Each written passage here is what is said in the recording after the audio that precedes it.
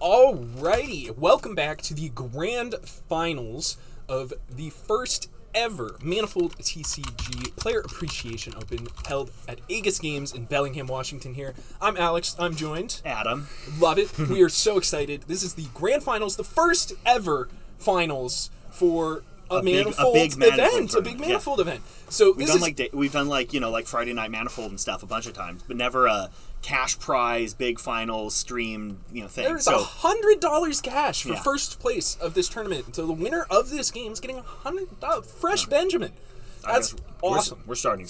We're, we're already going. Yeah, and we are getting right into it. And Steven actually won the die roll here, and his first action just roll a couple dice, and now Yep. he's just passing. So Yep. we, we, awesomely enough, we actually had Noble's insight into this match the first time. So we, we actually really have a good idea of what he's looking for, how he's trying to play the match, and whatnot, and what really worked well for him in that first match here. Yeah. So we saw Steven doing a lot of just passing. And as a reminder here for people, Steven's deck, the only deck in the room that has no interest in killing their opponent's heroes. So how does it win? Great question, Adam. Steven will win the game by first discarding his opponent's entire deck using the effect of Anya and various other s- events in his deck.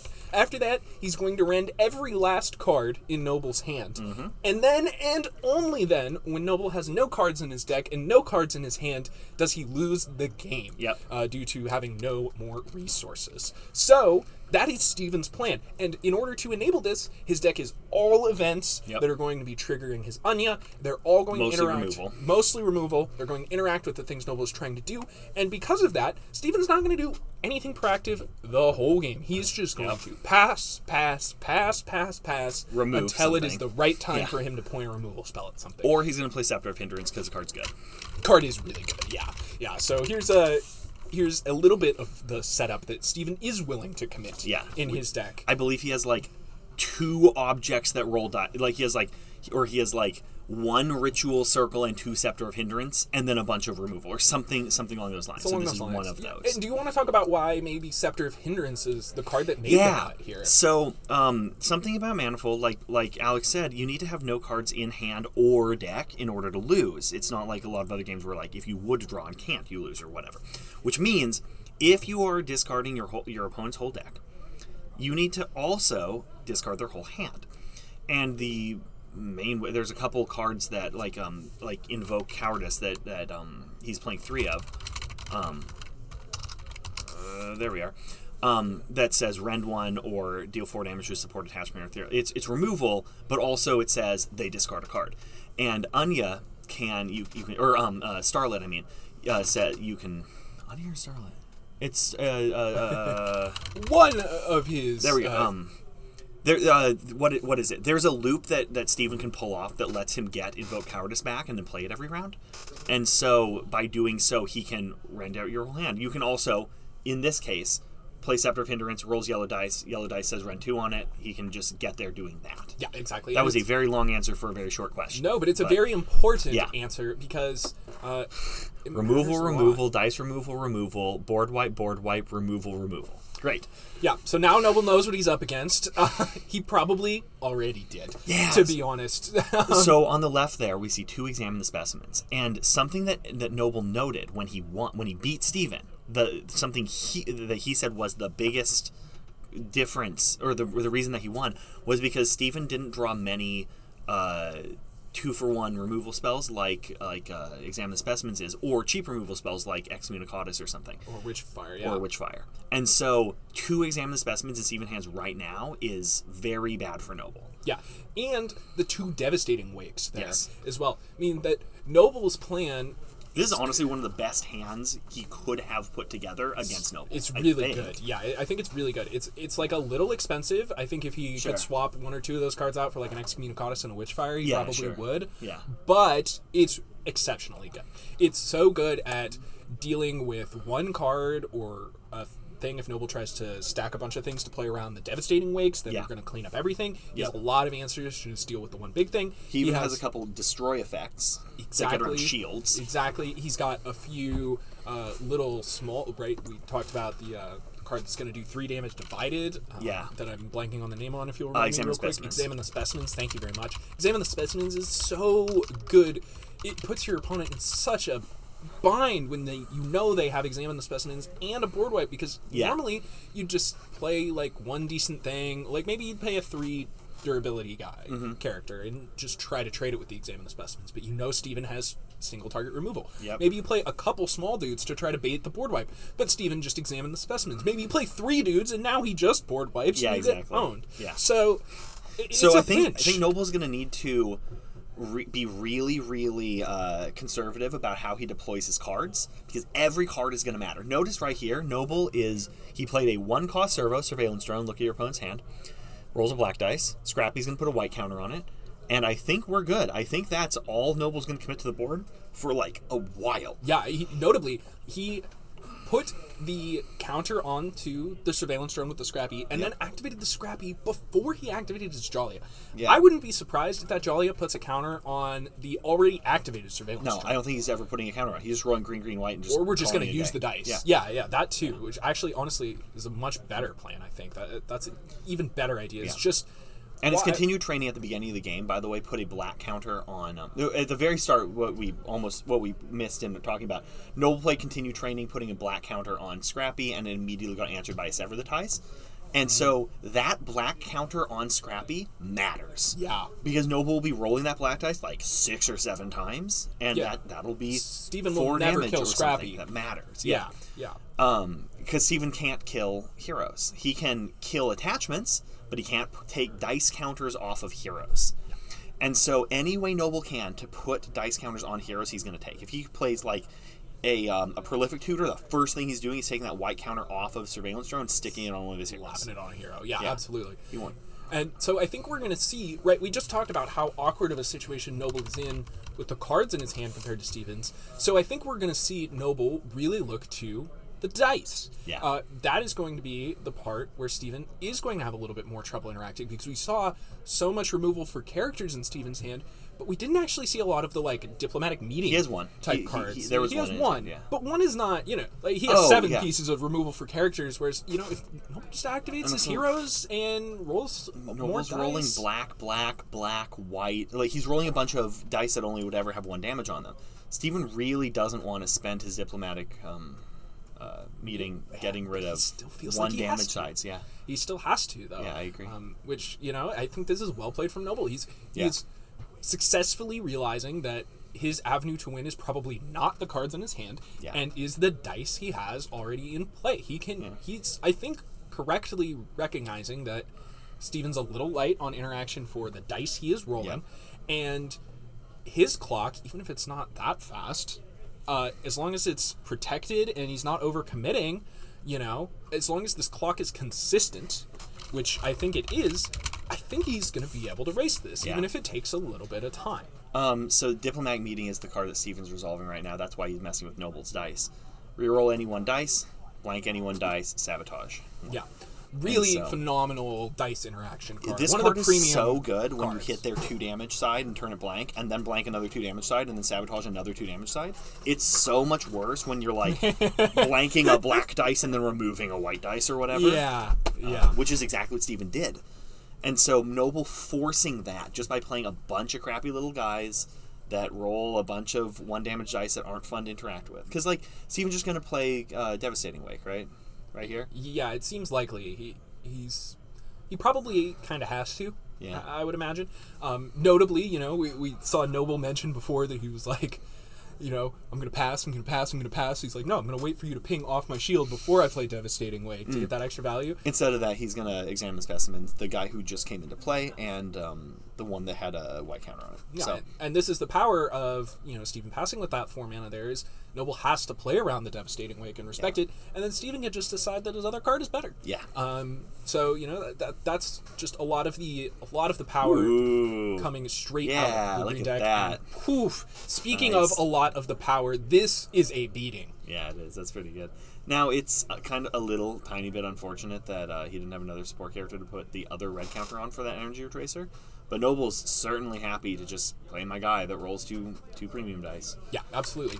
And, you know, it notably steals a red dice from Stevens. Red dice, not the best in Stevens' deck. Mostly he cares Yeah. about the shield. Yeah. Um, but they're absolutely the best against Stevens' deck. Totally. So, uh, you know, that red counter on that energy retracer is going to need to be dealt with uh, rather rather expeditiously from Stevens' side of the field, or else he's going to be in a world of hurt if that if Noble just untap, you know, gets to ready all of his permanents and then just activate that energy retracer. That's a lot of premium dice he's going to get to put in the field, and we know Stevens' hand is not super rich on dice interaction. Totally. All right. So it looks like our players are readying up, going into the next round here. So we've got eight damage on Anya, and Noble has discarded what?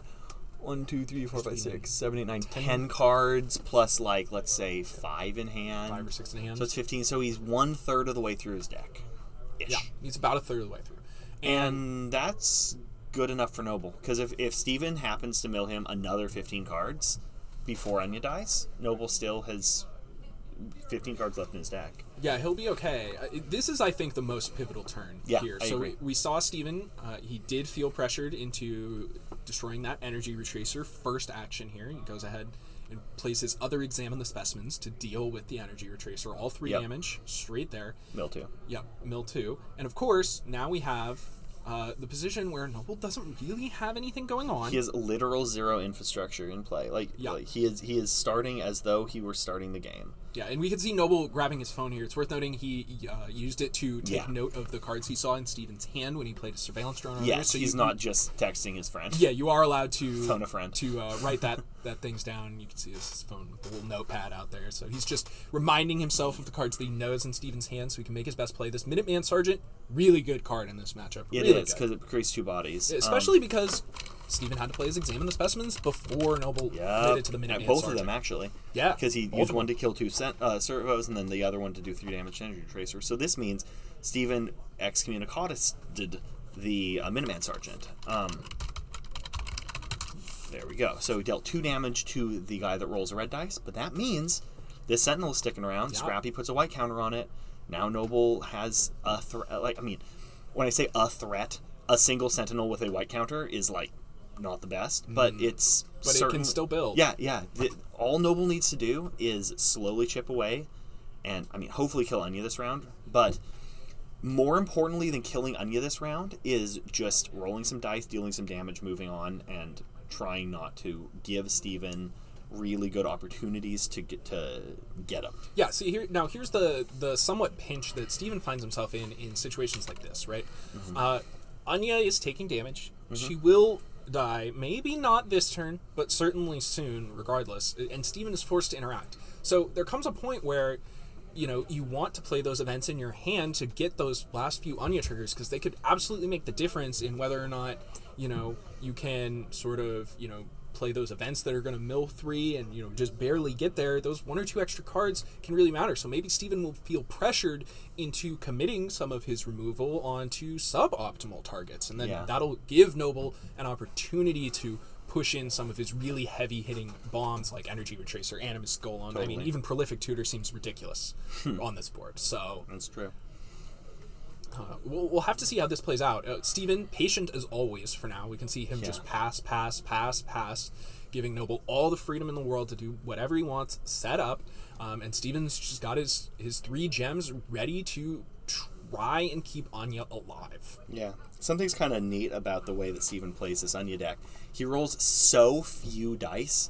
In fact, six around, and that's only six because he has the scepter on on uh, Starlit. Yeah. That he's able to just keep his dice underneath the heroes that create them, Yeah. and then when he uses them, he just puts it back because it's not like he's picking up a handful of seven dice and then you know discarding them all. Yeah, and then they go flying else. across the table.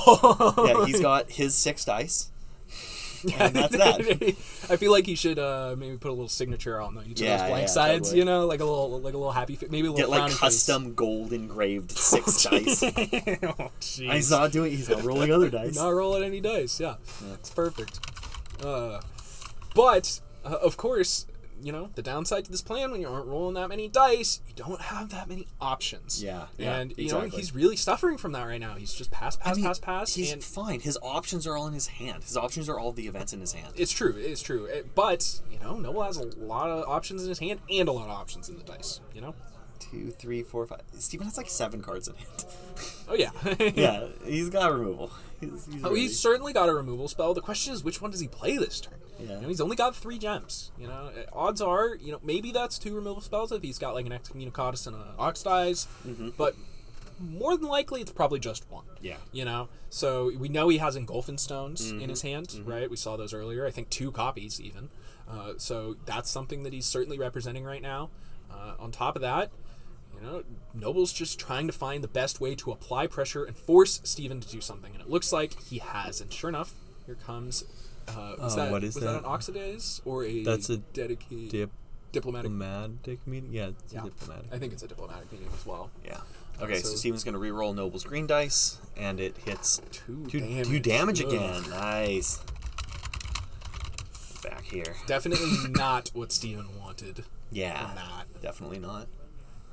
See, And he's then just blank one, remove ahead the other. Yeah. blanket and get it out of there. So, unfortunately, the diplomatic being basically ends up only removing two dice this time instead of the three that it sometimes is able to when you get that nice roll. But Yep. of course, uh, no such luck this time. Noble gonna go ahead resolve some of his black dice, and then Steven's Steven- down to a single green gem, which could be a Witchfire. could be yeah, Remember. yeah, and uh, I don't think we've actually brought up Witchfire yet in this stream. You know what I haven't mentioned and should have mentioned Hmm. a long time ago? If you go to mountbakergames.com, there's a gallery of all the cards. Yeah. And anything we say, you can just go look up and like you can look up all the blue and green cards and just you know skin through all of them and see That's a what great idea. Yeah. Should have mentioned that a long time ago. Um, yeah, and uh, it's going to be very exciting to see if Steven does have this Witchfire here because it could be very it could play a real big game. It can deal with that Sentinel token there that Noble has, and obviously. Witchfire without the resources or dice to be able to swiftly do something afterwards is not ideal, but you know, when it's gotta go, it's gotta go. And, ooh, Noble takes the blue dice away from Steven with the energy retracer there, those three topaz mines. I'm telling you, if if y'all are playing Manifold, you're gonna start to know what three topaz mines mean. You, Okay, you know what one emerald mine can't do anything about? This. this, yeah. Well, Witchfire still kills the sentinel, and, but so uh, here we have looks like he doesn't have it. Noble. Nope, doesn't have it. Stealing Steven's blue dice just to prevent the shield. I think. Well, just because it's, good. also good, but Yeah. he stole the blue dice instead of the yellow dice. I mean, Yeah. I think the I think he stole the blue dice to stop Steven from being I'm sure that is shield. also part of it. yeah, yeah. as part of his aggressive plan. It looks like Steven was able to roll two shield, two rend. Rend is the uh, disc- your opponent discards two cards effect, Yes, uh, which is good. Which is good here. super good for Steven. Uh, rending your opponent's hand uh, is one of the best ways to ensure that you actually have enough removal to deal with all of the Yes, problems. absolutely. Um, so that scepter of hindrance really paying off here. That you can see why he's uh, decided to include that as one of his very few engine cards Yep. um, in this deck. Noble slapping two shield down, one on energy retracer, one on the sentinel token Yeah, with a white and blue counter on Yeah, it. that sentinel no is reason the- to shield the principals. or Oh, the heroes, absolutely not. Excuse me. Yeah, they used to be. In case anyone's wondering, they uh, for a wh- most of the time during development they were called we called them principal characters, and we changed that very late to heroes. Yeah. Um, and Alex was a part of the dev team way back when. Way back Alex when. was like, uh, I, I brought this. I was I like it was like, hey friends, you should come and play this new game. And we sat down and played the first printed version. I'm pretty sure you were there that day. I was. Yeah. Yeah. Yeah, And so- first iteration. It was many years of calling them principals before. Yeah, yeah, it's, it's hard to. memory. Yeah. you know, you know about the the saying. You know, you can't teach an old dog new tricks. Yeah. So yeah, I'll probably be calling them principals on accident until the day I die. But Yeah. hey, regardless, it's incredible to see how far this manifold has come. I mean, I five. talking about. I needed two, I think. Yeah, oof, that is a problem. But she did survive Yep, this turn. she did survive. which is huge. And sorry Um, to cut you off, but no, you're good. But you know, kind of to mention what I was saying, it's really just a testament to how hard people, you and Brad, and a lot of people behind the scenes have worked to get the game Yeah. to the point where it's at now, where we can actually be streaming it and sort of celebrating and talking about it. and the game's good. The game's too. awesome. It's so much fun. So if you're interested in, in Manifold in any way, please check out mountbakergames.com. There's a whole lot of interesting articles Yep. things like that. There's lore.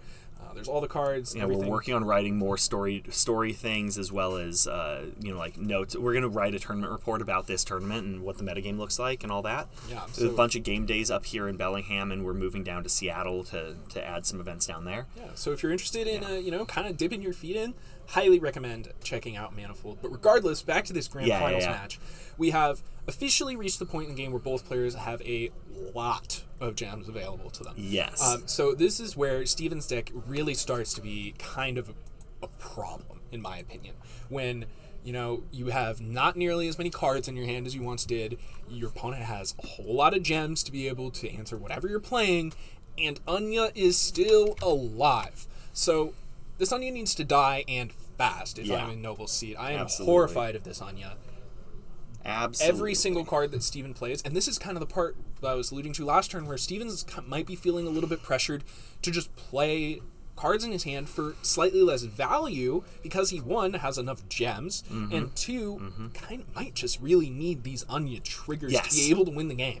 Yeah, he wants. I think he wants this round to get as many triggers off on as humanly possible, and hopefully that doesn't mean like losing a bunch of board state because Yeah. he, he really doesn't want to lose, right? He still needs to control the board. Yeah, I think we could see Steven make uh, a potentially aggressive line here to attempt to win the game as opposed to not lose the game. Yes, Classic, yes, classic exactly. uh, concept that gets talked about in a lot of card games. It's very much applicable here.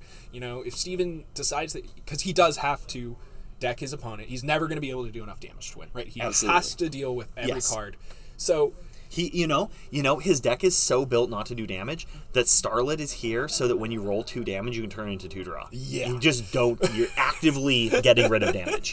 So, so he can't do the damage, so he has to deck Noble out. Yeah. So, we could see Steven make some what appear to be potentially aggressive or less valuable plays here, and maybe hope that Noble's hand doesn't have like an Animus Golem or something Yeah. that can really punish him for it. And if Noble does have a weaker holding, then you know he might be able to deal with that with his slightly less efficient answers that he has Mm-hmm. in his hand. Maybe Noble doesn't have a whole lot of cards. Maybe he doesn't roll great dice this turn. Right. Any of those things could happen, and you know if Stephen can mill six more cards with Anya or whatever, That might matter a lot. Starts to sound a lot more playable. Yeah. You know.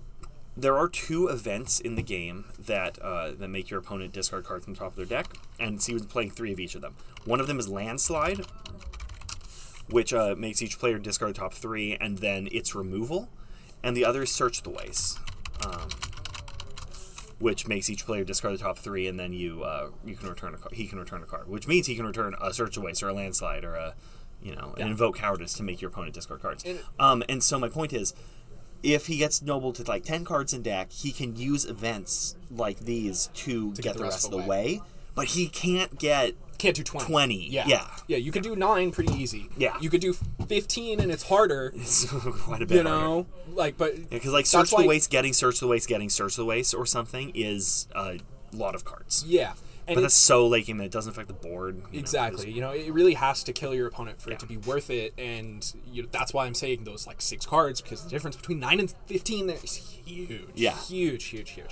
So we see Steven, he's beginning to try to convert here. Anya does fall. So Yes. I would be curious to know. Perhaps we can get a confirmation from the players how many cards are left in. Yeah, I'll see if I can get a good update um, on that. Yeah, let's ask our table judge here uh, if he could give us a count on that because it's incredibly relevant. Because uh, Steven, while I believe he has not played any of his mill Oh, yeah. No, he hasn't. I don't think he's played a single one. Well, they don't really impact the board much. I don't think he's been able to. Yeah, there's there's no real reason for him to have played them yet, but we also saw his hand and he didn't have a lot of them. True, true. You know, and so it like it's possible that Steven just doesn't have access to enough Yes. of these effects to be able to do it to get there anyway as well. Yeah. So uh, I think that you know it's just going to be a really interesting spot. We're gonna looks like the players are counting their deck right now, so it's super 17. important. 17. 17 is a lot. too many. That's a that lot. might be too many. It's Yeah. Steven is going to have to. Okay, so 17 means Steven needs to drag this game out for like a while. And I would say at least three turns. at least three rounds, yeah, or probably. three rounds minimum. And Yeah. he can do his deck is built to do that. Absolutely built to do that. Certainly. But Noble needs like like look at this. Steven has two gems, Noble has seven. Yeah. Now If- the the problem, of course, Noble I think only has two cards in his hand. Sure, sure, sure. So you know But he- that's. but he has a bunch of green dice, and he'll be rolling black dice, and they roll like you know. You're right. You're right. You're right. So it, does become problematic. But you know, if Noble's drawing cards, that is effectively Sure, furthering sure, Steven's sure. game plan That too. Obviously, it's not the path Steven wants to be taking. Yeah. Right. You would much rather your opponent not have access to those cards' effects. But you know. It, it could be worse if your opponent feels pressured into draw to be able to play the race with you. Then that's probably a good sign for Steven. Yep, Right. You know, if your opponent is spending green dice to draw, that probably means they don't have a whole lot going on. Yes. So, um, you know that that could be enough. But thi- this is a very, very crucial turn. If Noble doesn't have a whole lot of stuff that's really going to put Steven far behind on board this turn, I think Steven has a real chance of stabilizing with Agreed. his massive card advantage that he has in hand. But if Noble has a pretty good follow up, like Security Golem with a blue counter, Yeah, that's pretty good. I think I see a conti- Oh no, I was very wrong. He has lots of cards in his hand. He had the full five cards in his hand at the start of this turn. I was very wrong. He did not have two cards. In his Great. hand. So this is a whole different Security scenario. Golem into- really. Yo! Oh, Security yes. Golem into uh, orchestral Conductor. conductor. So this is exactly the nail in the coffin that Steven did not Remember when you said he need uh, Noble needs to build some board state? Yeah, Uh, yeah, that's- he, that's agreed. that. He agreed. he did. And Steven. So what do we do? He's got Steven an oxidized, the Sentinel. with the servo. Great. Yeah. servo. Sure, and Um, like yeah, that the just the radar servo. Yeah, yeah, and he definitely had to. It had counters It on had it. a red it counter, was red black, Way too scary. and a black dice from scrap. No, it didn't. No, it was just red black. yeah. Yeah. So uh, I think very reasonable oxidize. Steven, I think correctly realizing that uh, any single Johnny dice that goes into Noble's pool is is just Matters. It so matters bad for Steven at this point. Uh, it's really he really needs to prevent every single activation that he can get. Stop texting. He's playing for a hundred bucks, but it's not his time to act. So he's look he's he's taking the victory lap. He's texting his right. mom to check the stream right now. he's, he's taking the victory lap. Uh, but no, realistically, I mean this. This was a pivotal turn, a pivotal turn, excuse me, and I think I think this- Noble's running away with it. it went about as bad as it possibly could have if you're Steven. Absolutely, absolutely. Because Noble's just gonna roll red, red, blue, blue, white, white, and Steven is doing has shield one. Yeah, Steven is That's doing like it. absolutely nothing. And security golem is shielded, by the way, too. Yeah, yeah. So it's not even like Steven's going to have a really easy time, like digging in, going first, and immediately Totally. killing it. Um, Yeah. So one of the big strengths of this deck of Nobles that I've found, that, I've, I, I think I've, I've noticed, is um, that he can apply a um, very relevant amount of pressure with very little investment. yeah, I think You notice that? Yeah, that's come up a lot. It, the amount of pressure with just like uh, surveillance drone, look at your hand, put a counter on it. Yeah, and then jo- like Jollia put a counter on it. If he Yeah. wasn't playing against removal of the deck, then he yeah look at so And Noble it so looks like that is going to 6, draw 8, the 9, concession. 10, 11, 12, 13, 14, 15, 16. No, he has literally Actual lethal, lethal damage. lethal, or like one or two off. lethal damage Wow. on that turn. Sure enough, uh, needless to say, the pivotal turn it was, and with that, Noble is Incredible. our first ever Manifold TCG Player Appreciation Appreciation Open champion. I'll get him a big belt. He sh- he deserves it. He deserves it. He did not lose a single game all day. A flawless fantastic. record, smacking people down with the jolliest scrappy and making it look good while doing Yeah, it. I gotta seriously. say, I have never been more horrified of surveillance drone with a white counter on it. It's horrifying. That's It's like, awesome. That's so much pressure out of nowhere, and yeah, I think Noble with a really, really good showing of how you can exploit tempo and pressure Totally. in Manifold Yep. for advantages. So if you're a card game player, you're familiar with these concepts, you like this type of thing. Maybe you're played like Star Wars Destiny, or maybe you're a war game mm-hmm. player. You play Yep, a lot yep. of like dice games with that. I think a lot of these concepts really apply. You know, where you're using your dice, how you're you know positioning is not super really a thing, but like how you're preparing, like the positioning, it's different, but it, it exists in, in Totally, Manifold. You know, totally. it's more of a it's more of a pressure positioning. You know, Yeah. like I'm going to play this thing, you're going to play this thing.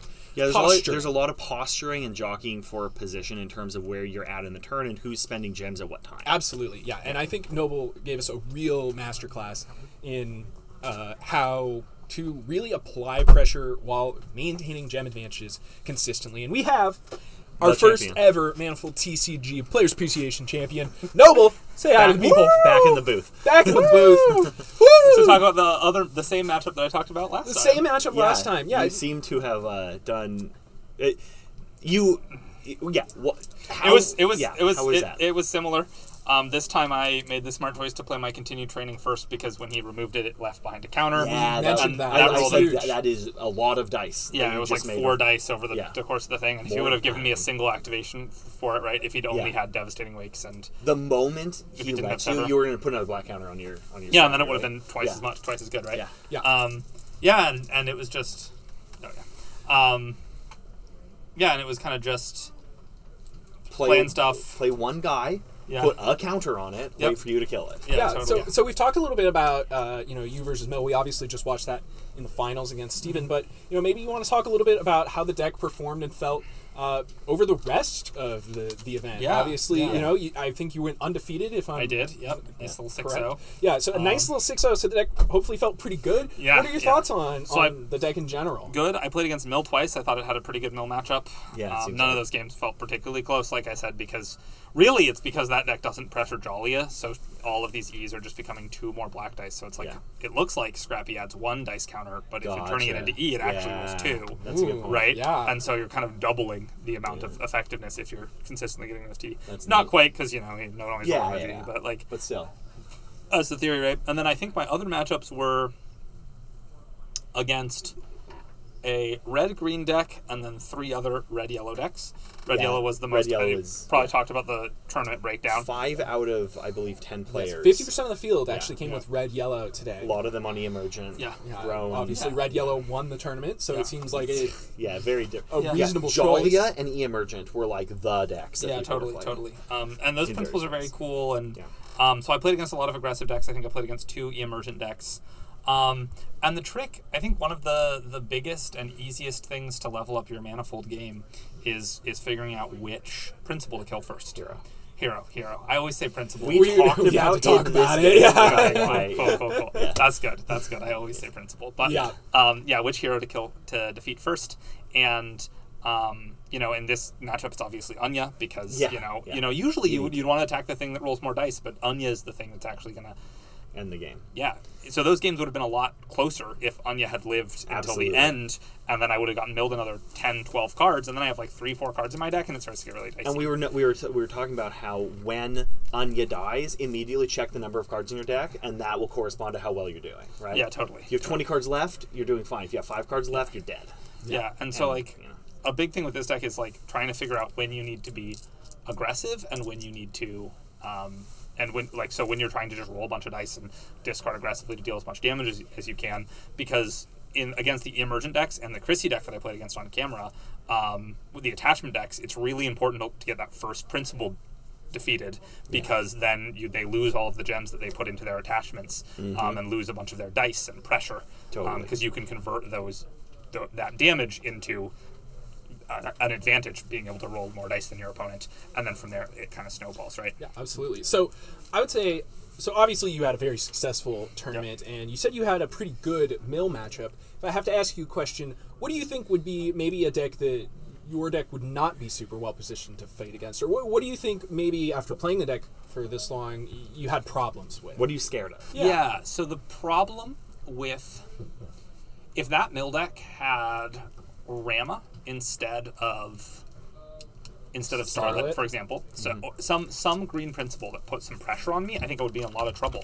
If my opponent was resolving ritual circles and I wasn't answering them and Yeah. killing my principals, Yeah. I would be in a lot of trouble if, if they were trying to hit me back at all. Because then when I'm playing this really cagey game, you know, and then I tap out, they answer stuff, then they can punish me, right? Yeah. They can they can Yeah. start hitting me for damage if they had some way to go over the top. But the problem was it just since, since I'm not under pressure and you know they my cards demand answers and my answer to is my principals roll enough dice usually to get through Anya in a couple turns Yeah. as long as i get another random dice here or there um, Yeah, it was it was really impressive to me how you forced Steven to use diplomatic meeting to hit your like random one damage black dice, and he actually had to. yeah yeah totally Yeah, Yeah, I- getting him in that in that position, Yeah. I think is really good for your for Yeah. the way that you're able to do that. Totally. Yeah.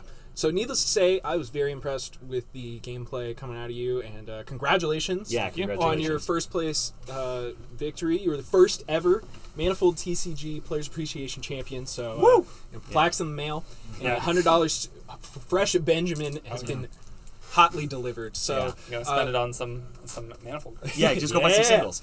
uh, so without further ado, I want to Yeah. really thank every single one of you out there that stopped by and checked out the stream. Whether you're here now, whether you stopped by and watched a certain round, whether you're watching some of the vods on YouTube later. Mm-hmm. Yeah, we're gonna Thank be putting so these all much. up as individual VODs. Yes, case- we will be. So, Yeah. uh, you know, thank you so much for checking out Manifold, experiencing the tournament with us, you know, giving it a look, and Mm-hmm. uh, we hope you liked what you saw, and we're excited to bring a lot more Manifold. So keep your eyes peeled. Uh, Yeah. If you're interested in purchasing Manifold or being able to play it yourself, there's actually a promotion Yeah. going on right now. Should have brought this up earlier. Probably. Yes, we absolutely probably should have brought it up during the grand finals, but you know maybe we'll add a little thing. Regardless, if you're watching now, this is a little bonus for you. There is a promotion. If you go use promo code AEGIS25 when ordering an Angel copy set of Manifold, which for those of you who don't know is a full copy of the game, right? Yeah, it's so the the the thing to buy right the thing you can buy right now is three of every card, one of every hero, all the tokens and dice and everything you'll need to play as one box. Yeah, it is. Yeah. it's basically like uh, a TCG player's uh, best friend. Yeah. Instead of having to open packs and hope you get Yep. the cards you need, you just guarantee get everything, and not just the ones you want. You get everything. So in two weeks, when you're like, man, I really need to be playing an extra support structure removal card. Yep. Guess what? You can just go into the box and have it. It's awesome. So anyway, if you use promo code AEGIS25 at checkout, you get. Fifty dollars off your order of an Angel copy of Manifold. So Yep, and that'll be on mountbakergames.com. mountbakergames.com. and of course, I, if you if you're watching Aegis' stream, you can contact them. They'll help you figure it out, or Yeah, come in, or call it, you know, whatever. And if you're watching the VOD Yeah. on YouTube, there will be a link in the description Absolutely. below. So Yes. go ahead and check that out. Check out Mount Baker Games. Check out Manifold. Share it with your friends. Yep. You know, we'll be doing another one of these in a couple months. Uh, we'll be posting about that on Discord, Facebook, uh, and- variety places, and website. maybe show up. You know, Yeah. We had a ten dollar entry fee, and we gave out three hundred dollars in cash today. Cash. So show up. Cash. I like cash. Do you like Yeah, cash? I like love cash. cash. Yeah. Almost as much as I like Manifold. We also gave out cool promos. You might have noticed that some of the cards we pulled up had different art than what were in play. That's because everyone who came got two foil promo heroes that are right now one of one for each of Exclusive. They're exclusive. Highly yeah. exclusive. Any any of these uh, player appreciation opens are going to have uh, promotional foils that you can get and. Currently, the plan, as of the current plan, that's the only place you can get them. Yeah. So if you really like playing a hero, uh, that you should come by and, get your get your promos. Yeah. So I think uh, that basically it, wraps yeah. it up. So I think from all of us on the stream, me, Adam, Yeah. thank you so much for joining you, us. yeah. A huge shout out to the entire production booth that helped us run this. We had multiple people behind the camera. We had uh, obviously the wonderful group who spent years developing Manifold to actually get Yeah. it to the spot where we can share it with people. What an amazing experience. Thank you so much for joining us. And I'm really excited to see you all when we're back. We'll see you next time.